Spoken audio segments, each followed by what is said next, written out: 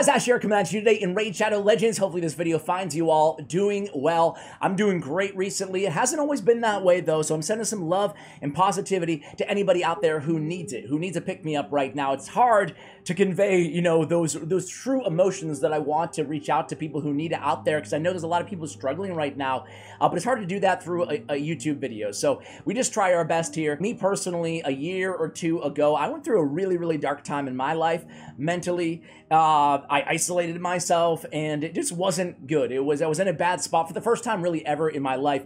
I've gone through awful tragedies in my life. I've gone through a lot, uh, but really everything kind of just added up and I had been pushing everything down for so long, ignoring it, just working a lot and focusing on distractions that finally everything kind of hit me and it was really tough.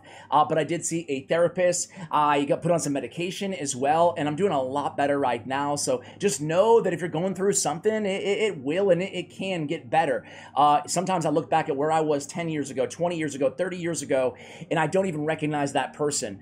So suffice it to say, people change and you can change too. Uh, today, no easy transition from that, guys. But today, we're going to talk about really one of the better nukers in the game, PvE and PvP. This guy does it all. And as Konstantin the Dayborn, he received a buff in the last balance changes. It wasn't a massive buff, but I've actually been seeing, even before those balance changes, I've been seeing a lot more of Konstantin the Dayborn just everywhere inside the entire game. Today we're going to take him out for a test run and see what this guy can do. If you pull him from a Void Shard, it used to be, at least I was, disappointing. You're like, Konstantin the... Who? Who?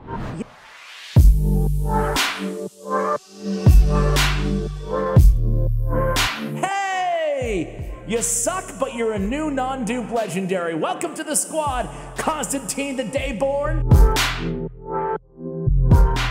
But He's actually really good now. So how good is he, Ash? How good is he? Well, let's compare him to some of the other best nukers in the game. This guy has an incredibly hard-hitting A1, one of the hardest in the game. Attack one enemy, place an extra hit if the target is under any debuffs. Check out his multipliers on this, guys. Uh, thanks to hellhades.com here. We have a 3.6 multiplier on the first hit, a 3.1 on the second hit.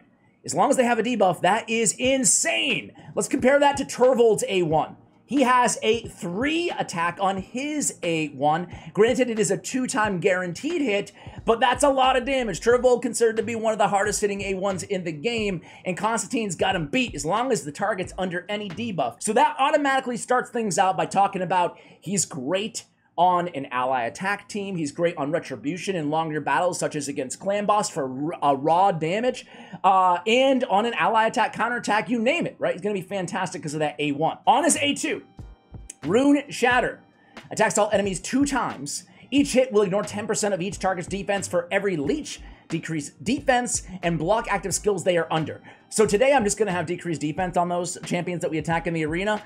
But man, it'd be cool to put a leech and a decreased defense and a block active skills. Why not? And see what he can do here. I also don't have him, you know, incredibly geared out compared to what I usually do on the channel here uh, in the for endgame content. you still don't trust me, huh? We have him in a couple cruel sets. I would prefer Savage on this champion. So just kind of go ahead and notate that. I haven't changed any of the gear that I originally had him on uh, for today's video. But anyway, guys, this has is a two-time hitter. Each hit has a 2.5 multiplier. That is god-like damage. And he has a built-in block revival on his passive, right? So uh, before we get to that, though, his A3 ability, Quietude, attacks one uh, enemy. Before attacking, steals all debuffs from the target, then transfers all the debuffs from this champion to the target. Decrease the cooldown of Quietude skill by two turns, the same skill, if the attack kills an enemy. So that's really cool. You can get it back to back. That makes him with a 6.5 multiplier, boys and girls. That makes him one of the best single target nukers in the game. Let's compare him to Little Miss Annie. Her attack, her toys don't lie, or excuse me, not that's, that's her passive. Her playdate attack is one of the hardest hitting nukes in the game, single target. It's a 5.7 multiplier. Granted, it will ignore 25% of the target's defense built in there, so you have to take that into consideration. But that's a 5.7, guys. This is a nuke. We can basically one-shot anybody in the arena with an ability like this.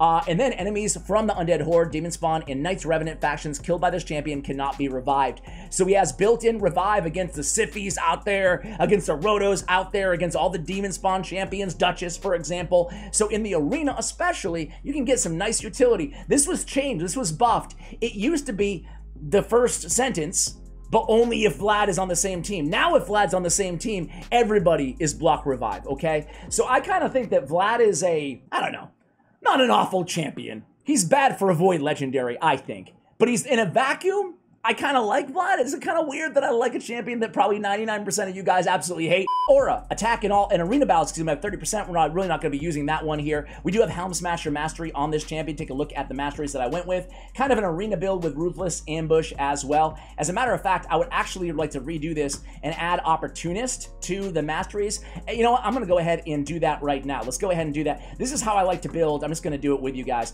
This is how I like to build arena nukers. Same masteries there, but Ruthless Ambush. Then we go down and we pick up Opportunist, and then we try to have somebody CCing the uh, the team before he goes, right? So we can go round this lane, we can go bring it down, uh, targets a higher max HP. Yeah, yeah, yeah. Let's do that. Let's go to, uh, I don't want to know, I'm to go to Methodical here, and then we'll go down to Helm Smasher.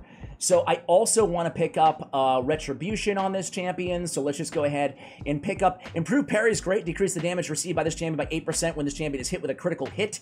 That's always going to be the case in the arena by their nuker. So nice to have that. We'll go with Delay Death and then we'll go with Retribution to get those counterattacks. And let's just go with, uh, I guess, Blood Shield maybe or Kill Streak. Eh, Blood Shield, Kill streak. Let's go kill streak. Let's go kill streak. Okay, so we redid the masteries here, guys. Uh, really quickly, I already mentioned two cruel sets. We went crit damage on the uh, the gauntlets. We have attack percentage on the chest, and then we have speed on the boots. Looking for that crit rate on the substats there for the most part. We don't have them built very fast at all. Uh, just trying to maximize this damage essentially. 198 speed, 103, 238, a little bit of HP, little bit of a lot of bit of attack, 5500, and a little bit of defense. His, his base defense is not too bad at 11. 78, and his base speed is not bad at 105 as well. All right, guys, let's stop talking about this dude. Let's start using him, right? Let's start out in the arena, guys. I want to start out by highlighting his A3 ability. His A3 ability. Let's let's start one-shotting some guys, huh? Take it off auto. This is kind of my main, I've been using this team forever, you know? Uh, having a champion like a CC, you run like a Cornelia here, because the cool thing is Madame Suri, or Madame Ceres, however you want to say it, she can remove all the buffs from all enemies, so you don't need Kymar on this team. He's nice to have though, don't get me wrong, right? So let's start out with the Quietude. Who do you think is the tankiest on this team? Magnar, probably Vogoth, right? The nice thing is he's Void, Affinity, so it doesn't matter like really who we're attacking. But it doesn't matter who we attack, we're to kill him no matter what. 115k, block revive. Yeah, that's awesome. All right, so let's just go ahead and speed boost here. I don't think we're gonna even lose anybody, so we can we can go ahead and do this. We can boost again, and then let's actually gonna come. Let's come in here. There we go, Ash. Let's come in here and try to one shot somebody else. Right? We're highlighting the uh, the A3 first here. Quietude. We didn't even need to reset because we killed an enemy, so it reduces the skill. So we're gonna have it up every time. Let's hit uh, Demon Spawn, block revive on Magnar too. 185k! Dude, this guy's a monster. So people know him for his A3, A2, right? Uh, and, and certainly probably going to be using that more often. But good God. 203k! What a monster! Konstantin the Dayborn. Good God, man. Good God. All right, all right. I'm fawning over this dude. All right, nice to have that block revive in there. If you compare him to other block revivers, multiplier is going to be insane, right? Uh, think about it, and it applies to all of his skills. His A1, his A2, and his A3. His multiplier, Foli's is a 4, multiplier on his AoE on Sealed Fate. Uh, we've got that beat as well. So let's go for another tankier team here, guys. We need something a little bit more challenging. Let's step up in difficulty here. And this time, let's test out his A2 in the arena, guys. I gotta say though, CCing the enemy team as a setup and just using his A3 is compelling as well. So we block, or did we not block a, revive? We're gonna be able to block revive on these two. Not those two though. not those two, unfortunately. So let's come right back in and let's get rid of this, uh, get rid of this Swift Parry. Right, man, that's not, not, not Swift Parry. It's Crown, Ash. Come on, bro. Uh, let's actually kill her. We don't want Skull Crown ruining our party here. All right, now let's come in. Boom, boom. There we go. So block revive on the Duchess, so his Reviver and Syl isn't going to be able to pick up Duchess. Nicely done, nicely done. Take care of the team. Let's do one more of his A2 and one more of his A3, guys. So let's go in against, let's find a tankier team here, guys. Give me like a Siphi, Rhoda. There we go. This is a little bit better here with a Lydia and a Siphi. Uh, let's come in here, and what should we do? A3 time? A3, I think I've already proven that he can one-shot anybody and everybody in this game with it. He's not even in Savage gear. Uh, but I kind of want to start out by one-shotting Siphi here. Sorry, Siphi, we love you. But we're going to block uh, Revive or deny Revive on you because you're Undead Horde. Boom. 127k, block revive, game over. now listen, uh, Lydia will ignore block revive, so it's not game over, but it's it's it's game over, right?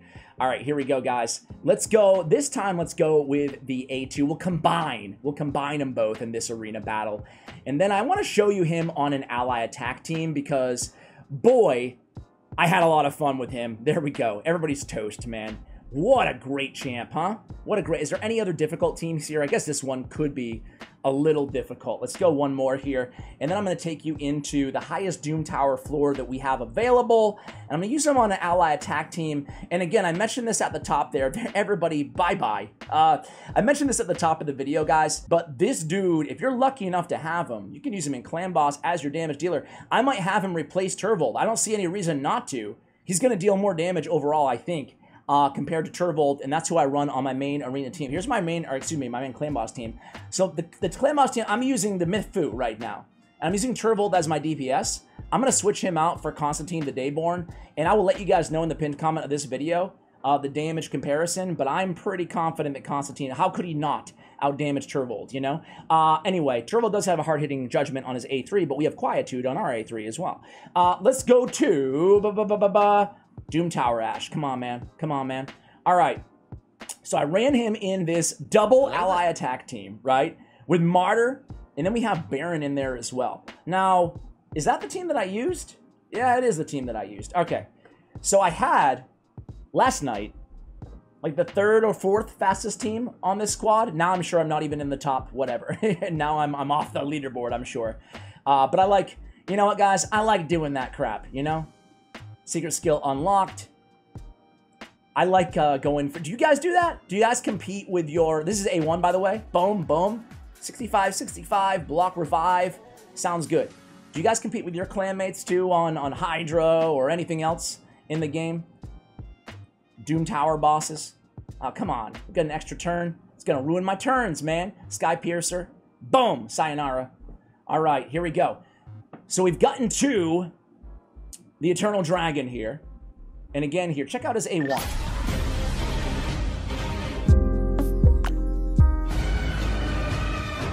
Of course he doesn't join the attack. Come on, dude, Konstantin, this is your chance, man. So I have really the triple ally attack, counter attack combo going on right now, right? I've got Longbeard, I've got Kreela, and then I have Martyr with the counter attack as well on the squad. Uh, I didn't even notice. Okay, let's see his A3. His A3 is hitting for 85k. Not too bad. Let's see his A1 on this counterattack. Keep in mind the A1 damage is going to be mitigated. What is it? 30%, I believe, on counterattack and ally attack. But again, that's 30, that's 40, around 80k. Not too bad. Now let's put increased attack buff on him. Should have probably just let off with that one. And then let's come in with the A1 here. Let's go in with another A1. And then I'm, I think rather than the A2, I think we're just going to go right to the A1 here. Two-time hitter. There we go. 69, 79. That's really, really solid damage there, guys. Getting a couple Retribution procs there. Not too bad. Uh, let's go in with a... Uh, yeah, sure. And then do this. And then do... Ally attack. Join in this time, man. We need you. No.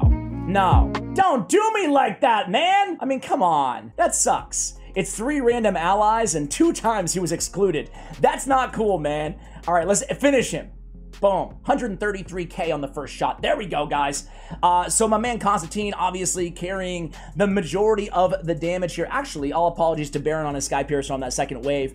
But yeah, guys, I mean, think about it, right? Clan Boss, Hydra Clan Boss, anywhere that you need a nuker, this guy is incredible. He's the real deal. Let me know what you think of this champion, guys. I look forward to hearing from you in the comments below. Thanks, and as always, take care, guys.